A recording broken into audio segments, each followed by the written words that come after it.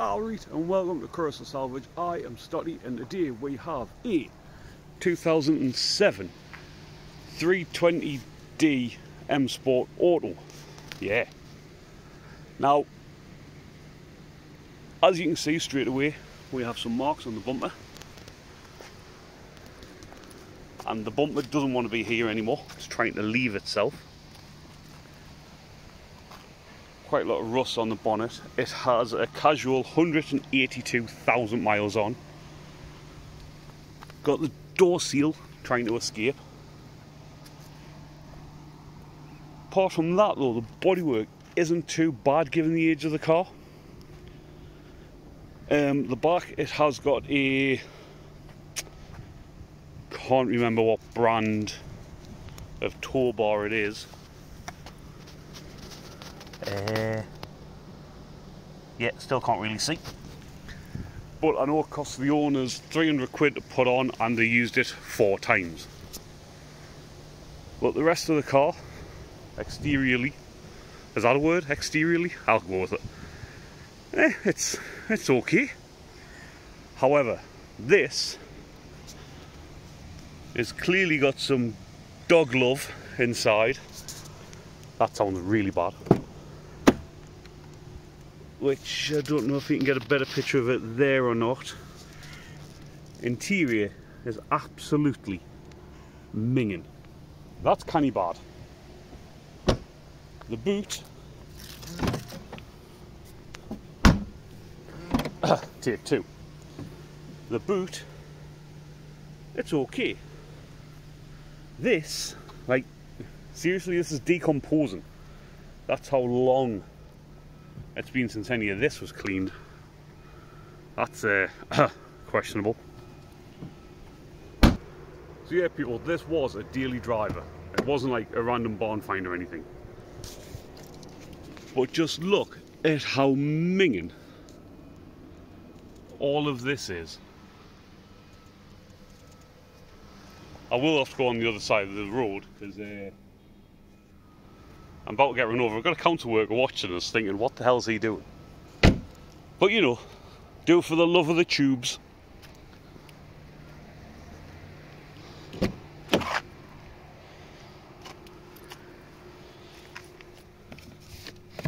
Like for me, just how on earth do you let your car get this dirty?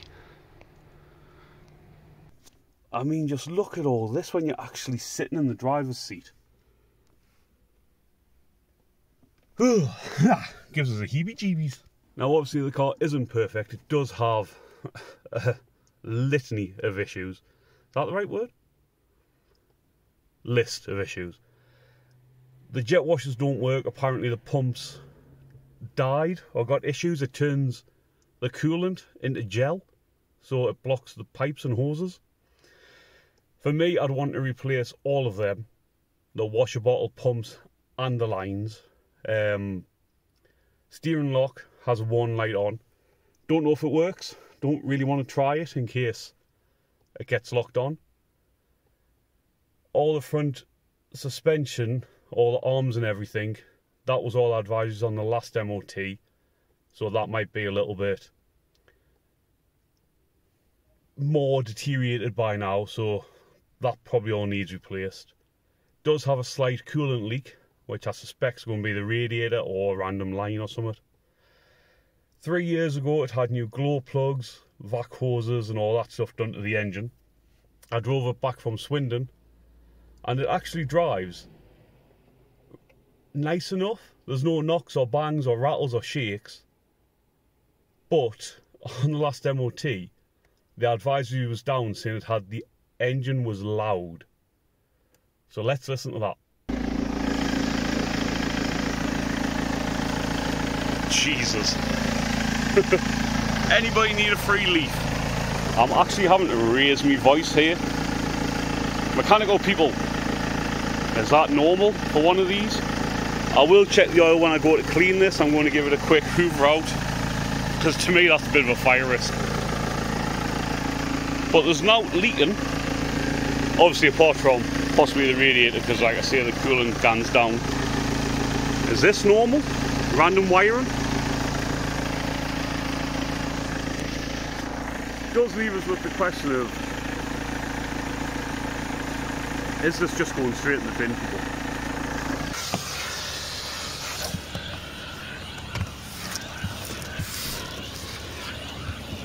Oh, there's actually a mat here. Didn't know. Oh my god, man. This is worse than when I bought my own car, the Slug. I mean, the really sad thing is, once upon a time, this was somebody's pride joint. So while cleaning this, and reference the loud noise, I might have part of the issue. Is this not meant to be connected like? So the air intake literally isn't connected, which makes me think, has the engine mount gone and the engine's tilted back over?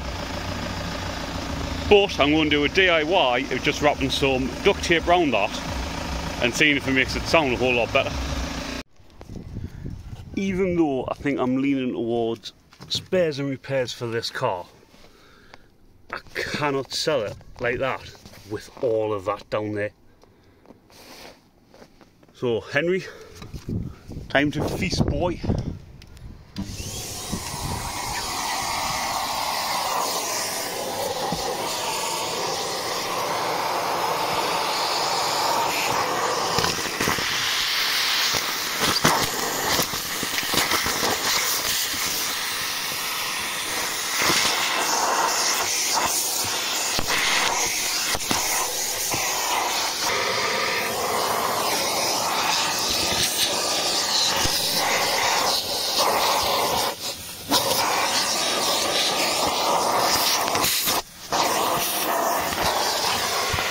Not sure if I put this in the video about the C3 or not. But one thing that was so annoying with that is when you went to indicate, you hit the cruise control lever, lever, if you're in America. Like, seriously, who thought that was a good idea to stick that there? When the indicator stalk's there? Bloody stupid. I know what some of you will be thinking. He's mad. He hasn't got leather, uh, leather gloves on. Be a bit excessive. latex gloves on. And you're right. I probably should have them on. But I forgot to get them, and the car is about two centimetres off the floor. I can't be asked to get out to go and get them. But one thing I want to know, if anybody's got one of these, had one of these, is it just me, or is the steering stupidly heavy? I mean, obviously, I have been driving that C3 a little bit, normally driving my slug, but the steering in this, it's like a workout. Wow. Wow, look, there's car underneath that there dirt, people. Somewhere. Even if I was buying this as a potential MOT failure car with a few minor things that need doing, because I do think it is now only the uh, jet wash things for the windscreen. I mean, look at that. The jet wash things for the windscreen and the steering lock, which technically would be the MOT and possibly whatever light bulb that is that keeps flashing up. But I just don't think the profit's there in it. I think I'd be better off spares and repairing it. But I would not want to buy it if it was this minging. And if I want to get that extra 30 quid for it, I might as well take half an hour to wipe all this down. Yum. Had up. There's a cup holder here. And there's two in the dash there. How many cups are blooming BMW drivers drinking? And what on earth is this switch for?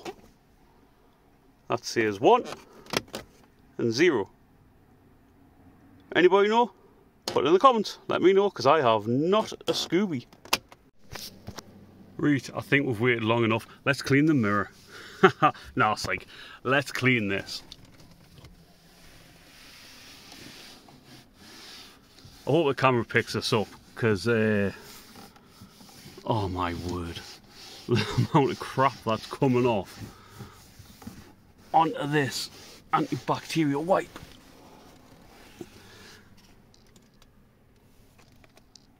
It's like when I do pollen filters. Look at the difference. in full honesty, I've probably spent about 20 minutes wiping the inside of this, hoovering it. Obviously I need to hoover again just down here because crap's got there, but uh, yeah, that took a lot of effort, didn't it? People, don't let your car get so dirty. Now I showed you that this airbox isn't even attached and I was going to wax some duct tape around it. However, duct tape would leave a mark and I just want to know if that would fix the loud engine. So my solution, cling film. Cling film around there. This is heat resistant to some kind of degree.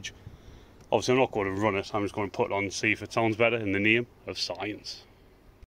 So this is the sound before and all you die-hard BMW fanboys, don't get too annoyed. but uh, it's not even connected here, man. Look at that. Right, let's uh, turn this on.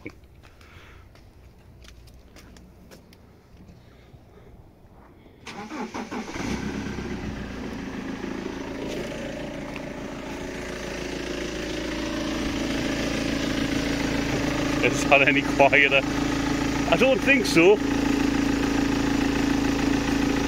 Obviously these aren't airtight.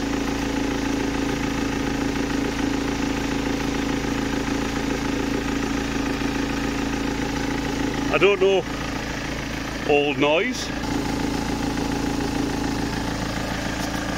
New noise. I don't think it's made a little, but actually, one way to find out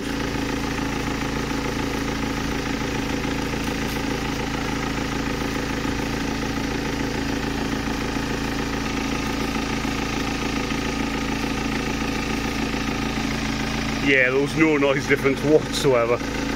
But, science folks, science.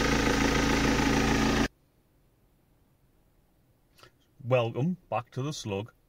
The Beamer's gone. Decided to sell it as spares and repairs.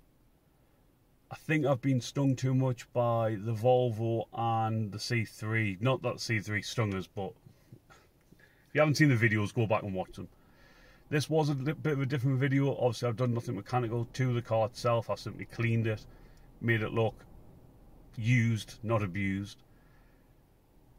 I really just want to put this video out to show that you can still make money um, just purely from getting the car and cleaning it. I have been very lucky. It was a kind of part ex I didn't really want.